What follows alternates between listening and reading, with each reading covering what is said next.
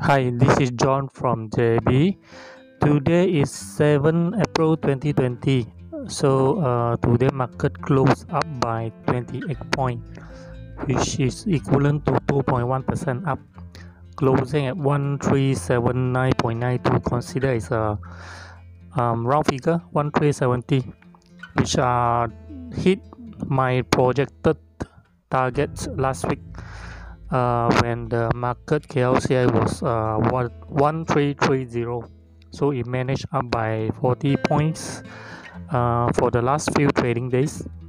So um, so consider quite consist quite good market sentiment at this moment. So we have a look on the market right now. Okay today market total gainer is up by 900 counters while dropping counter is 134 unchanged is 279 definitely today is very bullish market. So we have a look on the um, volume. The volume is 6.6 billion share traded today.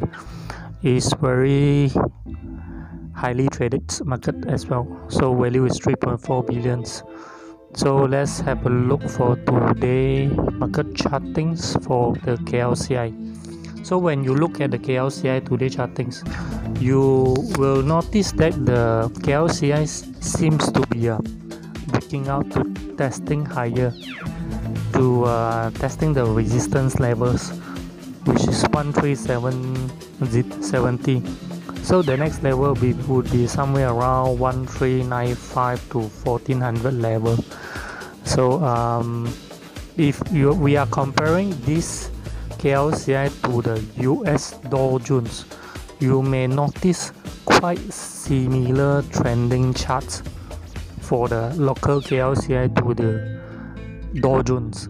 So let's have a look on the Dow Jones. So this one is Dow Jones overnight closing.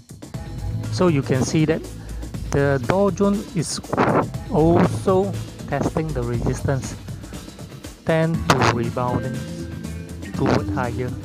So since uh, local KLCI has been uh, breakout today, so I'm expecting the Dow Jones will rebound as well. So um, that's all I'm sharing for today. Thank you so much. Bye.